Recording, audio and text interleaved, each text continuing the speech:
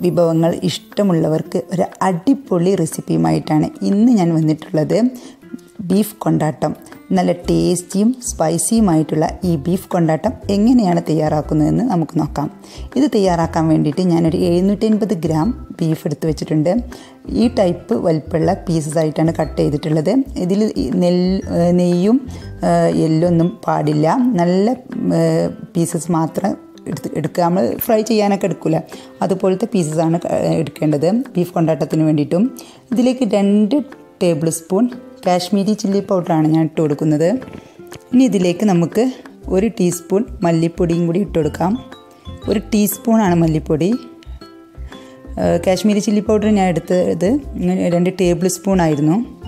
ഇനി വേണ്ടത് ഇതിലേക്ക് ഒരു ഒരു ടീസ്പൂൺ മഞ്ഞൾപ്പൊടി അതുപോലെ തന്നെ ഒരു ഒരു ടീസ്പൂൺ പെരിഞ്ജീരകത്തിന്റെ പൊടി. പിന്നെ വേണ്ടത് ആവശ്യത്തിനുള്ള ഉപ്പാണ്. നമുക്കിതിലേക്ക് വേണ്ട ബീഫിലോട്ട് വേണ്ട ആവശ്യത്തിനുള്ള ഉപ്പ് ചേർത്ത് കൊടുക്കുക. ഇനി നമുക്കിതിലേക്ക് വേണ്ടത് ഒരു ടേബിൾ സ്പൂൺ വിനേഗറാണ്. പിന്നെ വേണ്ടത് വെളിച്ചെണ്ണ. ഒരു ടേബിൾ സ്പൂൺ വെളിച്ചെണ്ണയും കൂടിയും ചേർത്ത് കൊടുത്തിട്ടുണ്ട്. ഇനി നിങ്ങൾ എടുക്കുന്ന ബീഫ് നല്ല നെയ്യുള്ള ബീഫാണെങ്കിൽ ഒരു അര ടേബിൾ സ്പൂൺ ചേർത്ത് കൊടുത്താൽ മതി. ഇനിയിപ്പോൾ തീരെ നെയ്യില്ലാത്തതാണെങ്കിൽ ഒരു രണ്ട് ടേബിൾ സ്പൂൺ വെളിച്ചെണ്ണ വരെ ചേർത്ത് കൊടുക്കാം. പിന്നെ ഇതിലേക്ക് ഞാൻ അതൊക്കെ ഒന്ന് മിക്സ് ചെയ്തതിന് ശേഷം സൈഡിലേക്ക് മാറ്റി വെച്ചിട്ടുണ്ട്. ഇനി വേണ്ടത് നമുക്കൊരു പിടി ചുവന്നുള്ളി ഒരു പീസ് ഇഞ്ചി കുറച്ച് വെളുത്തുള്ളി ഒരു പത്ത് പതിനഞ്ച് എല്ലി വെളുത്തുള്ളി കുറച്ച് കറുവേപ്പില. നമുക്ക് ഈ വെളുത്തുള്ളിയും ഇഞ്ചിയും ചുവന്നുള്ളിയും കൂടി ഒന്ന് മിക്സിയുടെ ചെറിയ ജാറിലിട്ടിട്ട് ഒന്ന് ചതച്ചെടുക്കണം. അപ്പോൾ നമുക്കിത് ചതച്ചെടുത്തിട്ടൊന്ന് വരാം. ഇനി നമുക്ക് നമ്മൾ മസാല തേച്ച് വെച്ച ബീഫ് പീസിലേക്ക് ഒരു ടീസ്പൂൺ ബീ മീറ്റ് മസാല ഇട്ട് കൊടുക്കുന്നുണ്ട്. മീറ്റ് മസാല അല്ലെങ്കിൽ കറി പൗഡർ ആണെങ്കിൽ അതായാലും ചേർത്ത് കൊടുത്താൽ മതി. ഒരു ഫ്ലേവറിന് വേണ്ടിയിട്ടാണ്. പിന്നെ ഈ എടുത്തു വെച്ച കറിവേപ്പിലയും നമ്മൾ ചതച്ച് വെച്ച ഇഞ്ചി വെളുത്തുള്ളി ചുവന്നുള്ളിയുടെ പേസ്റ്റും കൂടി ഇട്ട് കൊടുക്കാം. ഇതെല്ലാം കൂടി ഇട്ടതിന് ശേഷം ഒന്ന് കൈ വെച്ചിട്ട് നല്ല പോലെ ഒന്ന് മിക്സാക്കി കൊടുക്കുക. സ്പൂൺ കൊണ്ട് മിക്സ് ആക്കുന്നില്ലേറെ നല്ലത്. നല്ല കൈ വെച്ചിട്ട് നല്ല പോലെ ഒന്ന് മിക്സാക്കി കൊടുക്കുക നല്ലപോലെ മിക്സാക്കി കൊടുത്തതിന് ശേഷം നമുക്കിതൊരു ഇരുപത് മിനിറ്റ് ഒന്ന് റെസ്റ്റ് ചെയ്യാൻ വെക്കാം. അതിലേക്ക് നല്ല മസാലകളൊക്കെ ഒന്ന് പിടിക്കാൻ വേണ്ടിയിട്ടാണ് ഇരുപത് മിനിറ്റ് റെസ്റ്റ് ചെയ്യാൻ വെക്കുന്നത്. അതിനുശേഷം നമുക്കിത് ഒരു കുക്കറിലേക്ക് ഇട്ടിട്ട് വേവിച്ചെടുക്കണം. അപ്പോൾ ഇരുപത് മിനിറ്റിന് ശേഷമാണ് വേവിച്ചെടുക്കേണ്ടത്. കുറച്ച് സമയം വെക്കുന്നത് നല്ലതാണ്. ബീഫിലേക്ക് നല്ല മസാലകളൊക്കെ ഒന്ന് പിടിക്കാൻ വേണ്ടിയിട്ട്. ഇരുപത് മിനിറ്റിന് ശേഷം ഞാൻ ഇതിൽ കുക്കറിലേക്ക് ഇട്ടിട്ടുണ്ട്. വെള്ളം ഒഴിക്കരുത്. ഇതൊരു മൂന്ന് വിസിലാണ് ഞാൻ വെക്കുന്നത്. ഒരു വിസിൽ വന്നതിന് ശേഷം പിന്നെ സിമ്മിലോട്ട് ഫ്ലെയിം മാറ്റിയിട്ട് പിന്നെ ഒരു രണ്ട് വിസിലും കൂടി വെച്ചപ്പോൾ എന്റെ ബീഫ് നന്നായിട്ട് വെന്തിട്ടുണ്ടായിരുന്നു. നമുക്കൊരു തൊണ്ണൂറ് ശതമാനവും ബീഫ് വേവണം. ഇത് കണ്ടോ? നന്നായിട്ട് വെന്തിട്ടുണ്ട്. പക്ഷേ ഇതിൽ വെള്ളമുണ്ട് കുറച്ച്. അപ്പോൾ ഞാനതൊന്ന് വറ്റിച്ചെടുക്കുകയാണ്. അപ്പോൾ നമുക്ക് ഈ കുക്കറിൽ ഇട്ടിട്ട് തന്നെ ഞാൻ വെള്ളം വറ്റിച്ചെടുക്കുകയാണ് ചെയ്യുന്നത്. ഒരിത്തിരി വെള്ളം ഒഴിച്ചിട്ടില്ലായിരുന്നു. ഇതിൽ നിന്ന് തന്നെ ഉണ്ടായ വെള്ളമാണ്. അപ്പോൾ അത് നല്ലപോലെ ഒന്ന് വറ്റിച്ചെടുത്തതിന് ശേഷം ഒരു പാൻ വെച്ചിട്ട് അതിലേക്ക് ഒരു മൂന്ന് ടേബിൾ സ്പൂൺ വെളിച്ചെണ്ണ ഒഴിച്ചു കൊടുക്കുന്നുണ്ട്. വെളിച്ചെണ്ണ തന്നെ ഒഴിക്കണം. എന്നാലേ നമ്മൾ ആ ടേസ്റ്റ് കിട്ടുള്ളൂ. ഇനി ഇതിലേക്ക് നമുക്ക് മൂന്ന് ചുവന്ന മുളക് പിന്നെ കൊണ്ടാട്ട മുളക് ഒരു നാലെണ്ണോ അഞ്ചെണ്ണോ ഇട്ട് കൊടുക്കാം. എന്നിട്ട് ഒന്ന് ജസ്റ്റ് ഫ്രൈ ചെയ്തെടുക്കുക. പെട്ടെന്ന് തന്നെ ആവും. മുളക് കരിഞ്ഞു പോകരുത് ചൂടായതിന് ശേഷം സിമ്മിലോട്ട് മാറ്റിയിട്ട് വേണം ഇതിട്ട് കൊടുക്കാൻ. അല്ലെങ്കിൽ പെട്ടെന്ന് കരിഞ്ഞു പോകും മുളകായതുകൊണ്ട്. അപ്പോൾ നല്ല പോലെ ഒന്ന് വറുത്ത് ക്രിസ്പി ആകുമ്പോൾ നമുക്കിത് എണ്ണയിൽ നിന്ന് മാറ്റിയെടുക്കാം. ഇനിയിപ്പോൾ ചൂടാറിയതിന് ശേഷം നമുക്കിതൊരു മിക്സിയുടെ ചെറിയ ജാറിലിട്ടിട്ട് ഒന്ന് പൊടിച്ചിട്ട് മാറ്റി വെക്കാം. ഇനി നമുക്ക് ആ എണ്ണയിലേക്ക് തന്നെ കുറച്ച് വെളുത്തുള്ളി ചെറുതായി അരിഞ്ഞതും ഇഞ്ചി ചെറുതായി അരിഞ്ഞതും ഇട്ട് കൊടുക്കാം. ചതച്ചിട്ട് ഇടരുത്. കട്ട് ചെയ്തിട്ട് തന്നെ ഇട്ട് കൊടുക്കണം. അപ്പോൾ അതിന്റെ കറക്റ്റ് ടേസ്റ്റ് കിട്ടത്തുള്ളൂ.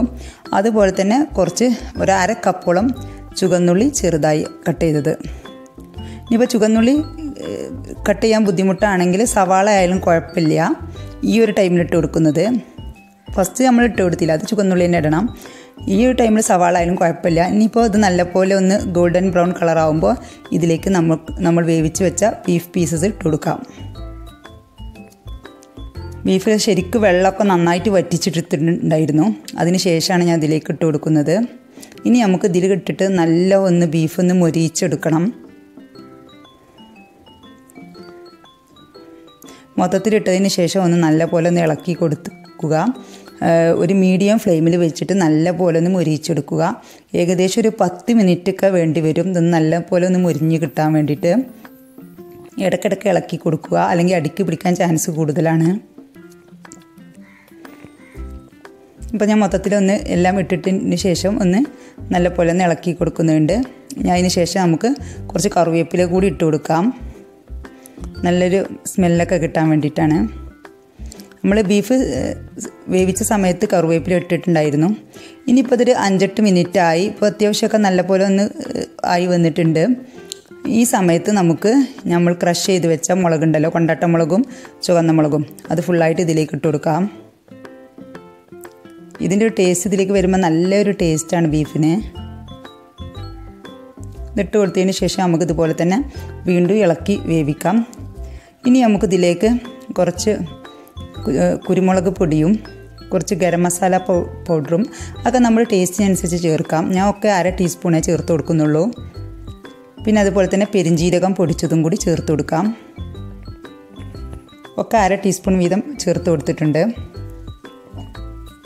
ഇനി നല്ല പോലെ ഒന്ന് മിക്സാക്കി കൊടുക്കുക. ഇളക്കി കൊടുക്കുക. ഇപ്പോൾ ഞാൻ ലോ ഫ്ലെയിമിലാണ് ഇട്ട് കൊടുത്തിട്ടുള്ളത്.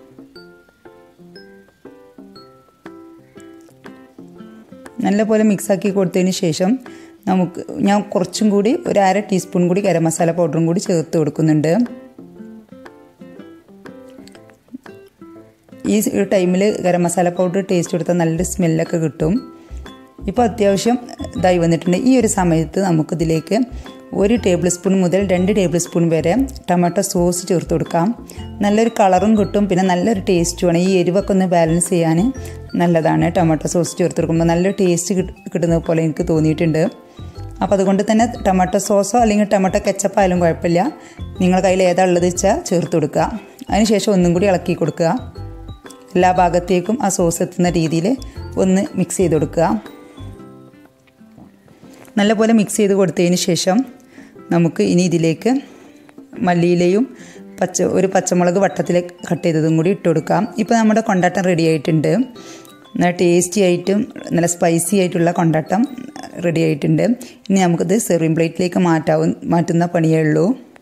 അപ്പോൾ ഞാൻ ഫ്ലെയിം ഓഫ് ചെയ്തിട്ടുണ്ട് കേട്ടോ മല്ലിയില ചേർക്കുമ്പോൾ എപ്പോഴും ഫ്ലെയിം ഓഫ് ചെയ്ത് ചെയ്തതിന് ശേഷം മാത്രമാണ് ഇട്ട് കൊടുക്കേണ്ടത്.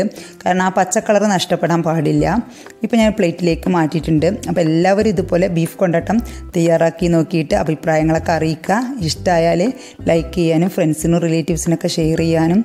ഇതുവരേക്കും എന്റെ ചാനൽ സബ്സ്ക്രൈബ് ചെയ്യാത്തവരാണെങ്കിൽ സബ്സ്ക്രൈബ് ചെയ്ത് സപ്പോർട്ട് ചെയ്യാനും മറക്കരുത്. എല്ലാവർക്കും എന്റെ നന്ദി.